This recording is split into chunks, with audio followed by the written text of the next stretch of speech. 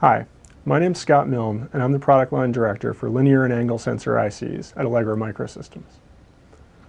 Over the next few minutes, I'll introduce you to the circular vertical Hall technology behind Allegro's angle sensor ICs. Angle sensing has always been challenging, particularly in harsh automotive and industrial environmental applications, where high temperatures and humidity is a given, and dust, dirt, and oil are a constant. Consistent accuracy over extended temperature ranges, the need for precise measurement at higher speeds, as well as enhanced system capabilities and new ASIL safety design features are all requirements in today's demanding angle sensor applications.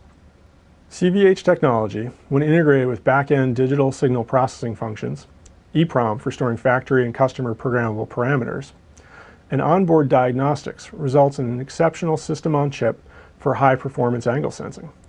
So let's take a deeper dive into how circular vertical Hall technology works and why it should be of interest to all automotive and industrial system design teams. So what are the benefits? CVH provides a system-level angle sensor solution in a single IC. Moreover, unlike competitive solid-state angle sensors, Allegro Microsystems CVH-based ICs do not require a concentrator or a complex packaging assembly, thus providing lower system costs. CVH technology also enables fast refresh rates, for example 25 microseconds, and low angle accuracy errors of less than 1 degree over a minus 40 to 150 degree C operating temperature range.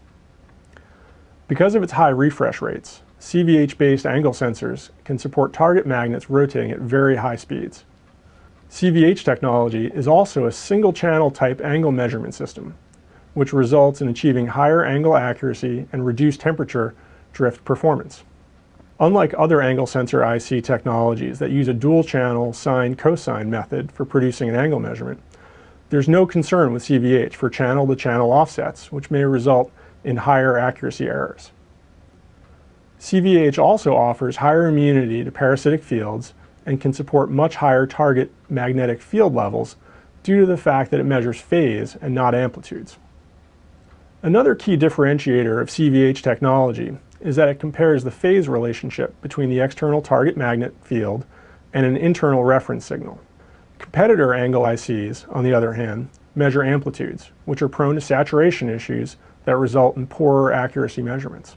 Because of all these unique CVH benefits, Allegro angle sensors provide better air gap independence and temperature drift performance than competitive solutions. Allegro's angle sensors also support additional features such as linearization, robust on-chip diagnostics, and a redundant die in a single package to enable the support of ASIL safety requirements. At the heart of the CVH circuit is an N-well ring, a moat if you will, that contains vertical metal contacts. In this particular case, the CVH ring contains 64 metal contacts, and the associated switching elements surround the CVH ring. Digital logic is used to repeatedly step and configure groups of five contact elements to effectively generate mini Hall elements. At each step or group configuration around the ring, a voltage is measured. As the digital logic steps through the 64 contacts and switches, a voltage is measured at each one of those steps, resulting in a sine wave. That sine wave is representative of the orientation of the target magnet that's hovering above the angle sensor IC. Stepping or switching through all the contact elements in the ring is accomplished at a very high rate. The period of time it takes to step around the entire ring represents the refresh rate of the device, for example 25 microseconds. Here, we see an animated view of the five element grouping and stepping action around the ring. As you can see, as we step around the ring, a sine wave that's representative of the orientation of the target magnet that's suspended over the angle sensor IC is created. In this animation, we see the resultant sine wave that was created by stepping around the ring, which is bandpass filtered and then rectified into a square wave.